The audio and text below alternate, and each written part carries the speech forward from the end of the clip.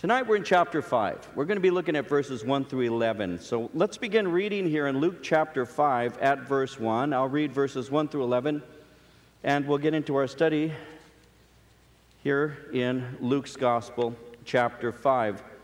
Luke writes, Now so it was, as the multitude pressed about him to hear the word of God, that he stood by the lake of Gennesaret and saw two boats standing by the lake. But the fishermen had gone from them and were washing their nets. Then he got into one of the boats, which was Simon's, and asked him to put out a little from the land. And he sat down and taught the multitudes from the boat. Now, when he had stopped speaking, he said to Simon, Launch out into the deep and let down your nets for a catch. But Simon answered and said to him, Master, we have toiled all night and caught nothing. Nevertheless, at your word, I will let down the net. And when they had done this, they caught a great number of fish, and their net was breaking. So they signaled to their partners in the other boat to come and help them. And they came and filled both of the boats so that they began to sink. When Simon Peter saw it, he fell down at Jesus' knees, saying, Depart from me, for I am a sinful man, O Lord. For he and all who were with him were astonished at the catch of fish which they had taken. And so also were James and John, the sons of Zebedee who were partners with Simon. And Jesus said to Simon, Do not be afraid. From now on, you will catch men. So when they had brought their boats to land, they forsook all and followed him. By now, many people are following the ministry of the Lord Jesus Christ. They've come into contact with him, they've heard of him, and they're beginning to follow after him. In, uh, in chapter 4, remember with me in verses 14 and 15 how it said there that Jesus returned in the power of the Spirit to Galilee, and news of him went out through all the surrounding region, and he taught in their synagogues, being glorified by all. So the Lord Jesus Christ's ministry is now catching fire. Many people are hearing of him, and he has finally come now into his region here in Galilee and has settled down. He's in a place called Capernaum. The city of uh, Capernaum is the city of Peter, Andrew, James, as well as John, and had become his headquarters as he's now ministering in the northern portion of Israel that we would call the Galilee. Now, while he's there in this region, he's, ha- he's impressing people with his teaching as well as the power that he is manifesting. He had delivered a, a demon possessed man, and the Bible tells us that the people were amazed at what he had done. They were amazed at his power and his authority. Remember verses 36 and 37? It said, They were all amazed and spoke, spoke among themselves, saying, what a word this is, for with authority and power he commands the unclean spirits, and they come out. And the report about him went, about, went out into every place in every surrounding region. So Jesus' popularity is now growing, and, and great crowds are gathering around him. Now, the scene of this particular teaching found in chapter 5 is uh, the Sea of Galilee. Notice with me in verse 1, though, it refers to the Sea of Galilee as the Lake of Gennesaret. You might find it interesting. Those of you who read through your New Testament already know this. But the Sea of Galilee actually has three names that you find used in the New Testament. You have this particular uh, name, the Lake of Gennesaret. You have the Sea of Galilee. And you also have the Lake, Tiber- Lake of Tiberias. Those are three, uh, three names for the same location. It's actually the Sea of Galilee. And uh, the Sea of Galilee is the lowest freshwater lake on earth. It's around 700 feet below sea level. At its widest part, it measures about 13 miles. From east to west, it's about seven and a half miles. And uh, its circumference is 32 miles. And the deepest point has been estimated as anywhere from 140 to 200 feet. And that's where the Lord Jesus Christ is ministering right now. Now, notice with me that he's surrounded. He's surrounded by a multitude, and also notice, as it says in verse 1, that this multitude is pressing about him. Now, the question has to be asked why are they attracted to the Lord Jesus Christ? There's a variety of things that you could say that were attracting them. One could be the miracles that he was, that he was performing, two, it may be his uh, demons out. You know, there are a variety of things that would make Jesus attractive to people. As a matter of fact, we know that even today, if you want to attract large crowds, there's a variety of things you can do to attract them. We know that if you want to have a large crowd, perhaps you might want to just use music. Music is always a great draw. People like good bands and all, and they'll show up to, to hear a good band. Uh, we know that speakers have great popularity, and sometimes a great speaker will draw a tremendous amount of listeners. We know that special events and conferences will draw crowds of people. If you have a variety of things that, uh, that reach into your community, you'll see hordes of people show up. You know, when we have our Hallelujah party, you know, here on the campus, our alternative to, to Halloween, we'll have um, seven, 8,000 or more people show up uh, in an evening to come and, and um, you know, just make use of the things that we give them to do. They'll come for that. Conferences, draw a lot of people. When we have our men's conferences here on the grounds, we'll see over 3,000 guys, about 3,400 guys who show up for things like that. When we have Christmas services, there are always thousands of people who show up for the services, for the Christmas Eve service and Christmas Day service. As you know, this upcoming Easter, we'll have four services on Easter, and we'll see 10, 11,000 adults and 1,000, 1,500 children on campus, and that's probably you know, pretty conservative. That's what we usually see because we know that, um, that you can have uh, events and, uh, and things of that nature, and, and people will show up. Uh, we know that sometimes if you want to have a crowd, all you need to do is speak on a timely subject. It wasn't that long ago when people were showing up in, in, in hordes to hear someone speak on Y2K. You remember Y2K? Anybody remember Y2K? Y2K? And Mexican said Y2K, but Y2K. Y2K. People were really interested in that, you know, and so they wanted to hear about that. Or if there's a, you know, something taking place like an invasion, the invasion of Iraq, you're going to have tons of people in church. They want to they want to hear something on that timely subject. Um, they always are wanting to hear answers for the bigger question, and that's true. I mean, I was thinking of giving a message on, for those of you who watch American Idol why Sanjaya? But anyway, uh, I don't think there's an answer for that one. Jesus is ministering. Jesus is healing. Jesus is delivering. Jesus is preaching. And he is teaching. What ministry do you think would get the most interest today? Preaching, healing, deliverance, what do you think would get the most interest today? Normally, it's the more spectacular. Normally, it's the thing that is going to draw people's curiosity. Do you think that teaching is going to draw a lot of people? Well, the answer is obviously no, because quite a number of people think they're already well taught, so they want something else. Yet I find it interesting to note here that in verse 1 it says, The multitude pressed about him to hear the word of God. That's why they were crowding around the Lord Jesus Christ. That's what was interesting to them. They wanted to hear what he was going to say. You see, you can believe in miracles and still be lost forever. You can be delivered from the power of, of a demon and still be lost forever.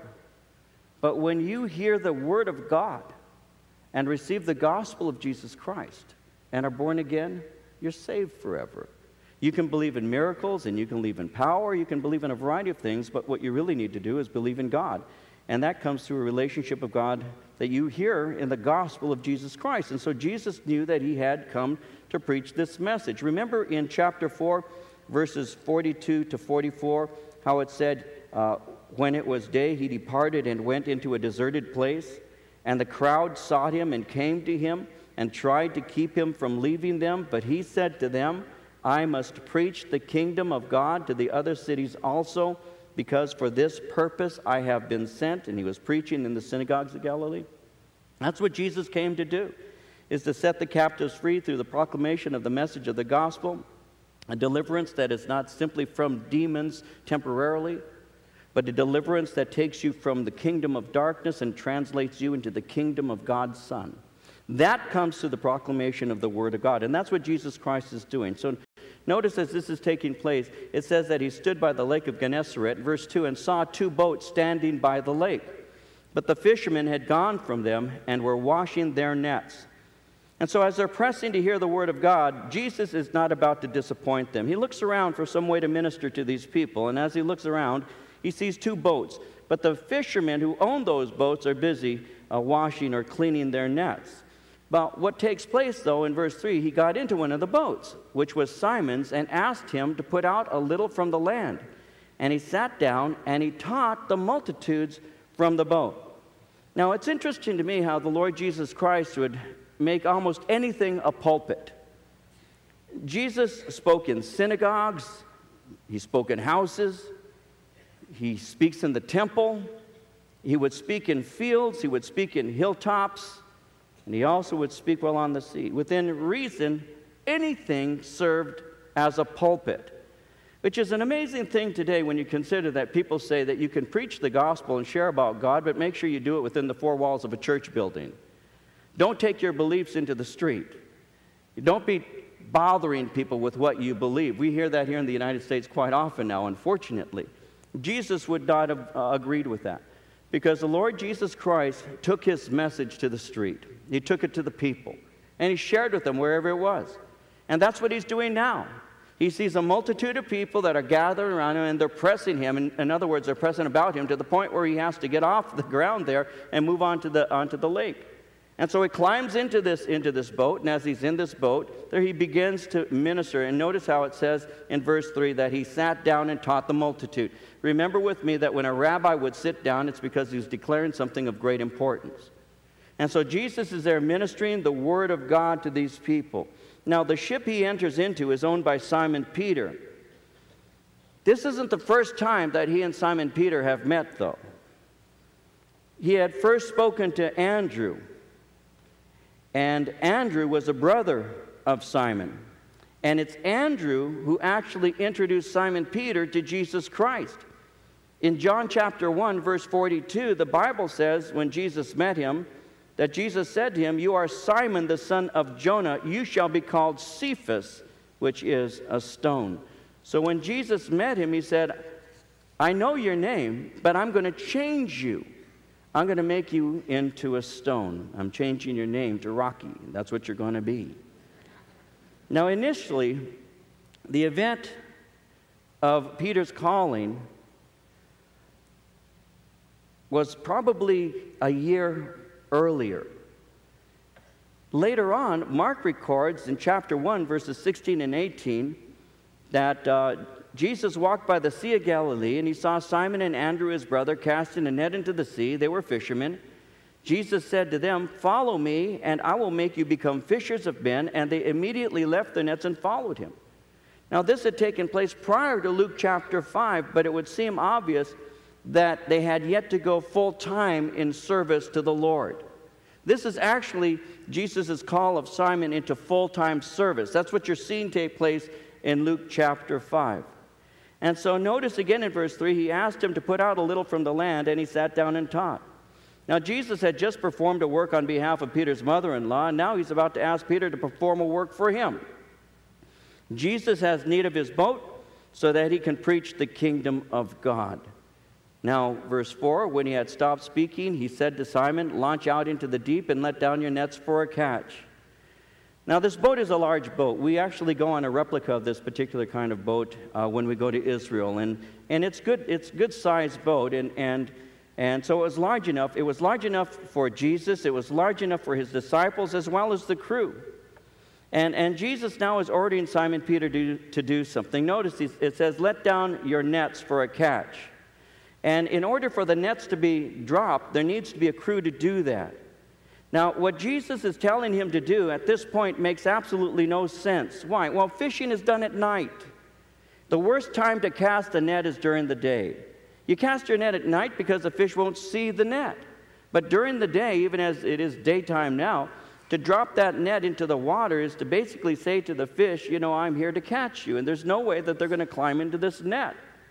And so these are expert fishermen. Now think of it for a moment because we were introduced to them in verse 2 as they were washing their nets. They have spent an entire evening, all night, doing their job. They're exhausted. They're, they're experts at their field, and they are basically already putting their nets away. And beyond that, they have been unsuccessful for the entire evening. Jesus Christ, on the other hand, is a, is a carpenter turned preacher. And Jesus is speaking to somebody, Simon Peter, who is an expert at what he does. As a matter of fact, he was a partner with James and John. He, his brother Andrew, were partners with James and John as well as Zebedee, James and John's father. That means that they were successful. So he's a successful uh, fisherman who's an expert at what he does, who spent an entire evening doing what he does best. He's exhausted. He's, he's already got his, his, uh, his stuff washed. He's ready to put it away so that he can rest the rest of the day to get up later on in order that he might fish again all night. And here comes Jesus Christ, a carpenter turned preacher who says, Do you mind if I climb in your boat for something? And Simon Peter says, Well, I'm certain he said something like, Well, of course, what is mine is yours. And Jesus sits down, and Jesus gives this message. You can almost see Simon Peter there on the shore washing his, his nets and everything, just listening to the master speak. He knows the master, he's already been called by him. Just recently, Jesus had been in his house and had healed his mother in law, and Peter's still mad about that. But as he's there watching him do this, Jesus speaks to him and tells him, I want you to launch out into the deep and let down your nets for a catch. That just doesn't make any sense. Now, I want you to see something here. Je- Jesus could have had that request refused by Peter. After all, it's his crew, it's his ship, and it's his time. Why should I do that? But instead of refusing him, he obeys he does what he's asked to do. And in doing so, he's going to learn something by experience. He's going to learn who Jesus Christ is. The Lord Jesus Christ wants us to learn, and this is one of the tough lessons. He wants us to learn not only intellectually, but also experientially. We'll see this in a moment, but he wants us to learn not only intellectually, meaning that we're able to quote Scripture, but He also wants us to understand through experience with God what that Scripture means. He doesn't want us, in other words, to simply know the actions of God. He wants us to know the ways of God. And as I've shared with you many times before, there's a difference between knowing the acts of God and knowing the ways of God. There's a great difference between the two. The Bible tells us that that, that Moses knew the ways of God, but the people of Israel knew the actions of God. He showed his ways unto Moses, but his acts unto the children of Israel. Psalm 103, verse 7. That's what he does. The children of Israel are able to say, We have crossed the Red Sea. They're able to say, God has supplied manna from heaven. They're able to say, Quail has been given to us in order that we might survive. They're able to say that when we were thirsty, that, that Moses uh, uh, struck a rock and, and water came out that was capable of, of giving us uh, water in the midst of a wilderness. We've seen all of these actions of God. They're able to speak concerning the works of God. They saw the sea, they saw the quail, they saw the manna, they saw the water, they saw it all. But Moses knew why all of that took place. And there's a great difference between knowing the actions and knowing the reasons behind those actions. There's a difference between knowing somebody by reputation and knowing somebody through relationship. We know that. You can have a relationship with somebody and you get to know them. You can know somebody's reputation and you only know things about them. God wants us to know not only what He does, but why He does that. And at this point, the Apostle Peter, who's already been called by the Lord, is going to learn something experientially. He's going to learn something about Jesus Christ that he doesn't know. He has seen the Lord do tremendous works. He's seen God already move through Jesus Christ, the works that Jesus Christ did and all. He's already seen that, but he's about to learn something. Now, notice verse 6. It says, When they had done this, they caught a great number of fish, and their net was breaking. So they signaled to their partners in the other boat to come and help them. And they came and filled both the boats so that they began to sink. Now, Jesus made the command and the Apostle Peter now uses his influence. And the influence he uses, I find interesting, is to cause those who work for him to obey. Peter's leadership led these tired fishermen into a blessing. He could have refused. But if he would have refused, they would have lost out on this incredible miracle. So, as a sideline application, what we need to do is use our influence for good. I need to if I'm going to lead anybody, I need to say, God, help me to use the influence you've given to me for good. I can influence people to believe. or I can influence people to disbelieve. I, I can help people to see God clearly, or through my doubt and despair, I can say, I just don't think He's going to move in this particular occasion, and I can cause people to be stumbled in their faith. The Apostle Peter had an ability to refuse a command at that moment. He could have said, You know what? This is my time. This is my boat. This is my crew. I'm too tired. You know, you're a carpenter. I'm a fisherman. I've got the experience. You're simply somebody who speaks about people's souls. You really are not that practical. You really don't understand what the person really feels that I, the way that I know they do. And thus, I'm not going to put my men through this. There's no way that I'm going to encourage these guys to continue working and all. But that's not what he did. What he did is he encouraged the guys just do what Jesus Christ said. And as a result of that, he sees the Lord move. When he says in verse 5, he says, We've toiled all night, caught nothing. He goes on to say, Nevertheless, at your word, I will let down the net. And that's why in verse 6, when they had done this, they caught a great number of fish. Their net was breaking. God moved in a tremendous way. You see, simple obedience can result in incredible blessing. It didn't make sense to Peter, but he obeyed and saw the fruit of obedience. The application is very simple. If the Lord leads you, cast out your net and see what happens. See what happens. You know, I say this to you often enough for you to have heard this before. But I wish, I wish sometimes that I could take what the Lord has shown me in, in, in my life with Him as it relates to this ministry and show you. I, I wish that I could, I wish I could illustrate to you the beginnings of the work that God did here by transporting you back to 1973. A lot of you weren't born yet. But to send you back to 1973, to sit in, in a den in Norwalk, California, with about six or seven people.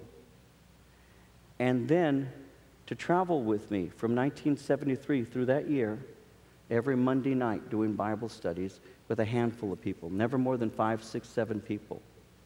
And to see that while I'm still going to school, while I'm still going to work and doing a variety of things. And then in 1974, coming out here to Ontario and starting a study there with my brother, where it was my brother Frank my sister Madeline, and me on Monday nights.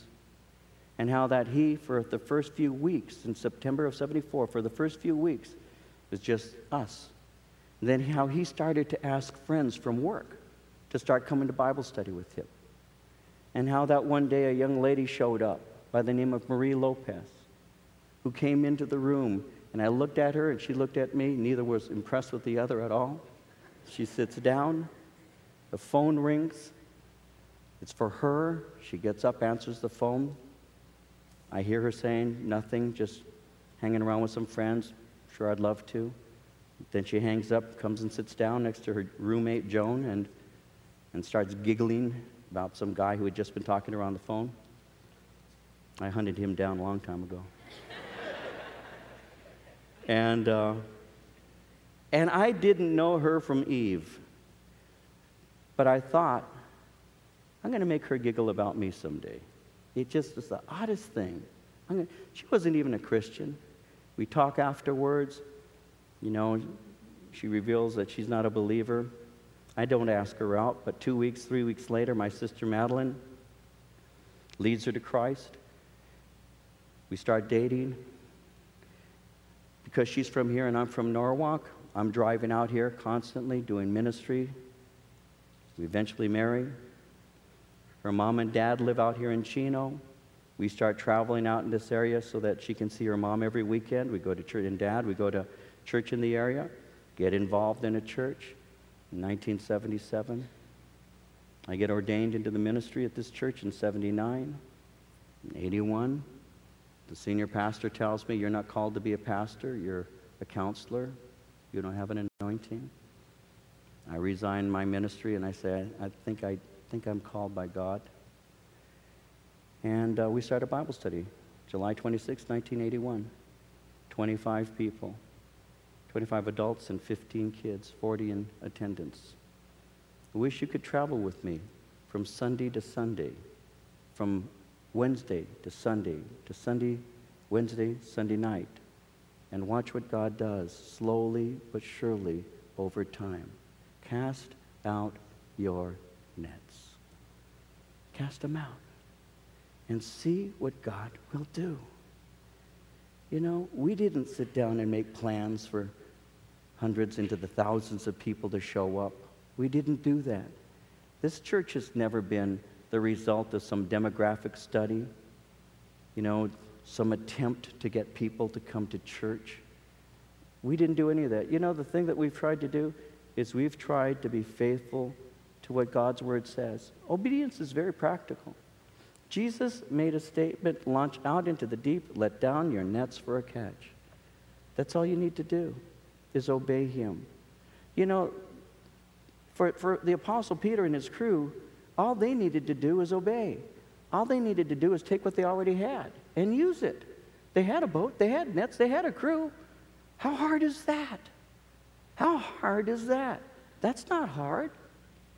You've got a mind, you've got a mouth, you've got a heart.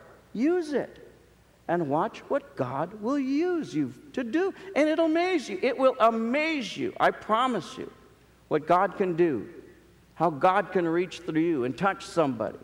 And what a joy it is when you are used by God to speak to somebody's heart and to see that life absolutely transformed because of the saving grace and knowledge of Jesus Christ.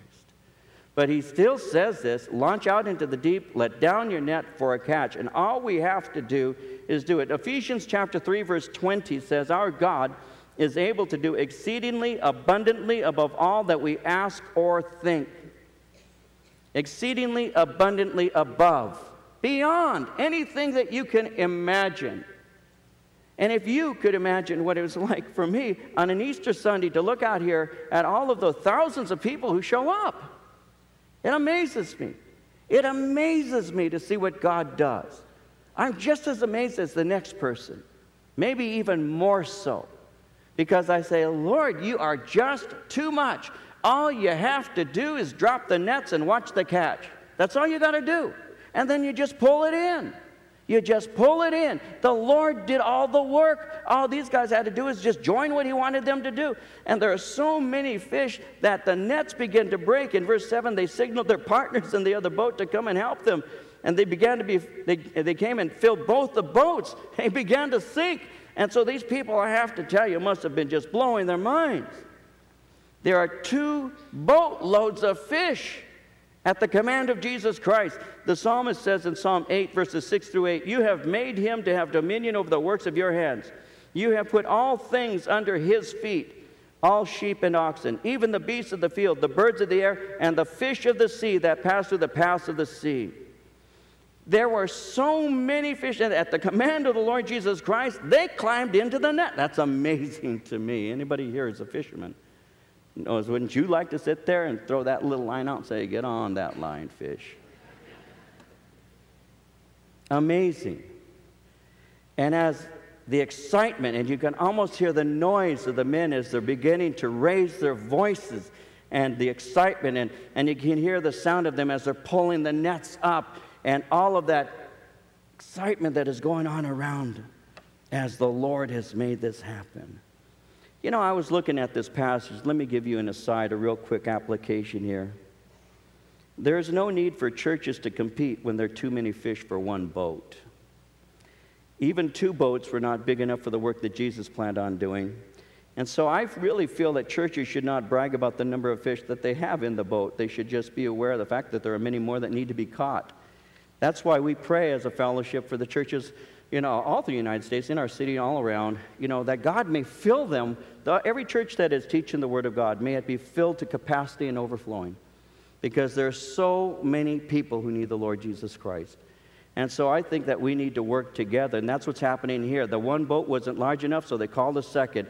And as all of this is taking place, look, notice verse 8 Simon Peter saw it, and he fell down at Jesus' knees, saying, Depart from me, for I am a sinful man, O Lord. For he and all who were with him were astonished at the catch of fish which they had taken.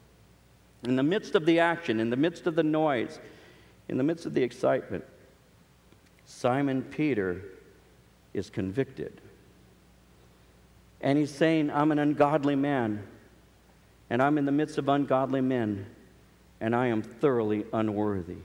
And he falls at the feet of Jesus, and he recognizes his sinfulness, and he has fear before the Lord because he's recognizing that he's in the presence of the Lord himself.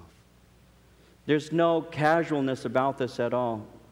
When you are worshiping the Lord, there's a sense of reverence and awe, not a casualness whatsoever. It, it sometimes bothers me to see how casual uh, Christians can be about worship and how casual they can be when they start sharing how the Lord has spoken to their heart and all. There's a sense of awe and fear that you see in the people of God whenever God arrives on the scene. I'm thinking of when Moses uh, received the Ten Commandments. You find it in Exodus chapter 20, when Moses received the Ten Commandments. And, and the Bible tells us in Exodus chapter 20, verses 18 through 20, that all the people witnessed the thunderings, the lightning flashes, the sound of the trumpet, and the mountain smoking. And when the people saw it, they trembled and stood afar off. Then they said to Moses, You speak with us, and we will hear. But let not God speak with us, lest we die.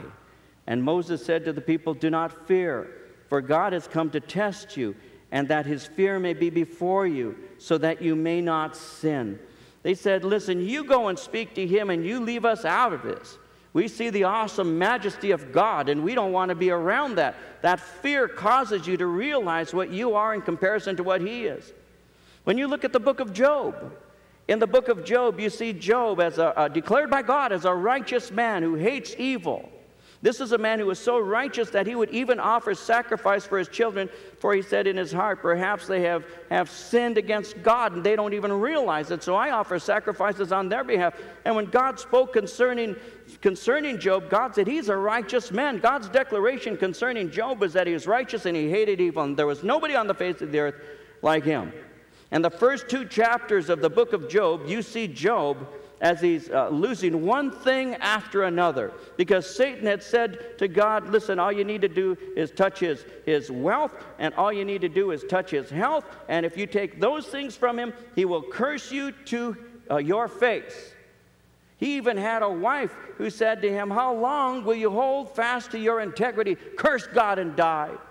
Get it over with, Job. Look at what you've become. You're there in a, in a, in a, a pile of ashes, and you have a broken piece of pottery, and your skin is erupting with open sores. And I can't take it anymore as I watch you go through this agony, this sorrow, and this pain. Curse God and die. Get it over with. Even his wife, he says, No. God has been good to me in all the times that I've had him. Why should I now, in the end, when things aren't going well, why should I turn my back on him? And so he has some friends. We know the story, and the friends come to supposedly cheer him up. And they sat next to him for a while, and as long as they were quiet, they did fine. The minute they opened their mouth, they became the proverbial Job's comforters and started giving him explanations as to why God had turned his back on him. Not a single one of them really knew what was going on, but every one of them had some great advice to give to Job. And all along, Job is defending his integrity. But as you read through the book of Job, all the way up to chapter 38, there are some things that he's saying that just aren't right. So then in chapter 38, after all of his agony and all, and he's been going through this pain for some time, the Lord breaks into the scene and God begins to speak to him. And he says, Who is this man who is speaking what he really doesn't understand? He says, Gird yourself like a man and answer some questions. You've been saying you had questions to ask me. Let me ask you a few questions. And so in chapter 38, 39, 40, and 41, you see God speaking to Job, asking him question after question. Ultimately, Job finally says in Job 42, verses 5 and 6, Job finally says to the Lord, I have heard of you by the hearing of the ear, but now my eyes see you. Therefore, I abhor myself and repent in dust and ashes. I heard of you, but I did not have this kind of face to face confrontation. I clung to what I had been taught, and I clung faithfully to that, to the point that God had initially said, He's a righteous man. I have held fast to the message I have heard as faithfully as possible, but now I see you. I have heard of you with the hearing of my ear, but now I see you with the seeing of my eye, and I repent. So, this is a guy who, in the presence of God, even though declared to be the most righteous man of his day, was still recognizing himself as being sinful. If there's anything wrong with humanity today, it's an improper assessment of our own goodness. I already used, you know, American Idol as an example. But everybody who tries out for American Idol, and they do this on purpose, they'll show you the footage of the tryouts. Every one of those people stood in line for hours for their chance to try and sing and become the next idol for America. And you've heard the voices of many of them who have said, Well, I'll go out and I'll record an album and I'm going to be a big star. Self deluded. Sadly, so sometimes, even painfully so, to the point where you laugh almost in an embarrassed way for them. Poor, self deluded people, because they really think they're good. Well, you know what? America thinks it's good too. Very often, we think we're better than our neighbor. We think we're better than the next person. We get to the point sometimes where we may even go so far as to say, I don't understand how they can do that. Well, you want to know something? I haven't forgotten where I came from. And I do understand how you can do that. Because when you don't have the Lord, you can do anything. When you don't have the Lord, it's possible that you can wake up some morning and say, How did I get here? Because you can do some things that you never thought you'd ever find yourself doing. And some of you know exactly what I'm talking about. You wake up and you say, How did I get here? How did this happen to me? What steps did I take so that I woke up in this condition? Because you can follow a path of destruction, and it's never shown to you exactly what it's going to be at the beginning. When the enemy told you, you know what, you'll look so sophisticated and cool when you have that cigarette in your mouth, he did not tell you that you're ultimately going to die of, of lung cancer. When he said, you know, drink that beer because it's cool and sophisticated, he didn't say, by the way, to you, by the way, you'll end up an alcoholic somewhere on Skid Row. No, because that's not going to happen to you, is it? It's going to happen to somebody else. The statistics always are about other people. It's never us. We're never part of that, are we? Because we always think of ourselves as being beyond that. The steps to salvation is simply understanding who you are. And that's what Peter did.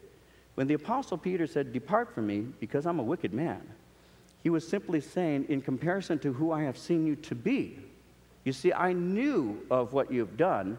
I was there in Cana of Galilee, and I, I remember your first miracle when you turned that water into wine. I've been around and I've seen you cast the demons out, and, and, and just recently you healed my mother in law. I've seen all of the works that you've done, and I've heard much of your teaching, but this is the first time I'm allowing it to actually hit my own heart. How many times can we hear a message that we think is for somebody else? How many times can we sense a conviction, but we think it's for someone else? How many times have I heard a message where I said, Man, I wish Marie could hear this one, it would really help her? I mean, we can do that. If my kids were only here right now, and they heard this, it would change their life. But I've discovered that God wants to say something to me in those, in those messages. It's not for somebody else, it's for me. The Lord wants to tell me something. And when I sit down and I listen to people teach, I'll tell you the truth. When I'm sitting listening to somebody else, my prayer as they're, as they're beginning to preach is I'm saying, God, if you have something for me, I want to know what it is. Let me learn today so that my life will change. I want to know what it is that you want to speak to my heart. It's a very simple prayer. But I want to hear it for me, not for somebody else. And that's what's taking place. See, Peter is actually taking this and making it personal. It's personal because it's, it's now affecting him, it's affecting his life, it's affecting his occupation, it's affecting his experience. We can become good at sharing about what God has done for someone else. We can speak about what we have heard in terms of testimonies, how we can say how God did this in that person's life and how God did this in that person's life. But what God wants to do is something in my life. He wants to do something in me. He wants to transform me. He wants to make me a living witness, a testimony of His goodness. He wants to do that in me. But I have met people who are able to tell me, oh, have you heard this testimony about brother so and so? Did you hear this about this sister over here? But what is God doing in you? What is God doing in you? Listen, I can read the books, I can read the devotionals, I, I, I know many of the speakers that, that they talk about, but what's He doing in you? See, you take the Word of God and you can personalize it. What does he want to do? And so the Apostle Peter has an experience with the Lord where he finally realizes that God wants to work in him too. It says again in verse 9 He and all who were with him were astonished at the catch of fish which they had taken. And so also were James and John, the sons of Zebedee, who were partners with Simon. And Jesus said to Simon, Do not be afraid. From now on, you will catch men. So when they had brought their boats to land, they forsook all and followed him. Now, this isn't the first time that Jesus called James and John. He had actually called them when he had called Peter and Andrew, but they now are being called to full time service to him. And they're leaving behind a prosperous business, they're leaving behind their father in order that they might follow Jesus Christ. In Matthew 19, verse 29, Jesus said, Everyone who has left houses or brothers or sisters or father or mother or wife or children or lands for my name's sake shall receive a hundredfold and inherit eternal life. Listen, when I gave my heart to the Lord, I hope you don't mind me making this personal. When I gave my heart to the Lord, I knew, I knew that it could cost me. I knew that my mom and dad might reject me. I knew that. I knew that my friends wouldn't want to hang around with me anymore. I knew that. I knew that my sisters could, could possibly uh, think that I'd gone overboard. And I also knew that my brother Frank, my, my older brother, I knew that Frankie could, you know, could reject me, which, which initially he did. I knew that could happen. I knew that. But something spoke to my heart, something that was so important. It was, I needed to get right with God no matter what, no matter who rejected me. I needed to. And so I took the chance and I gave my heart to the Lord and I shared with my family. I was speaking to somebody one time and I said to him this I said, because their mother was a very, is very devoted, but there was no assurance that she was saved. She was devoted to her religion, but no assurance that she was saved. I said to him, Are you willing to go to hell for your mother? Now, the reason I said that to him is because he told me, David, I know that what you believe is right. I know what you believe is right. But if I embrace that, it'll break my mom's heart. And so my response was, Are you willing to go to hell for your mother? And he said, Yes. And I looked at him and I said, I wasn't willing to go to hell for my mother, but I wanted to bring my mother to heaven. There's a difference. There's a difference. A lot of people are afraid to offend their family or friends, co-workers, employees, employer, they're actually afraid to commit themselves to following the Lord fully because they're going to lose these people. Jesus said, listen, you're not going to lose anything, but you're going to gain everything. Now, by way of application, I came from a family of six, but now I have a family of hundreds of millions because I'm part of the family of God. And this church here, this group of people here, if you're born again, like it or not, you're my family. We're related through Jesus Christ. I'm your brother, and you're my brother, you're my sister. We're family. That's what Jesus is talking about. Jesus is saying, you don't lose anything, but you gain everything. You can leave a house, you can leave a brother, a sister, a father, a mother, a wife, children, your land. He said, if you leave it for my name's sake, you receive a hundredfold. This family here takes care of each other, loves one another, prays for each other, supports each other. We're family. And not only do we have that present experience now, but we have that experience into eternity because the family of God lives on forever. Forever. And so they were fishers, so they would catch those fish and the fish would die. But he says, I'm changing your occupation. You are going to catch men, and those men are going to be caught and made alive. So at one time you had an occupation that ended in death. I'm giving you a new occupation, and it ends in life. Because when you throw the net out of the gospel, and you bring it in and you draw people into the kingdom of God, those are people who are brought into a living experience. You are fishing now for men, and the net is the message of Jesus Christ.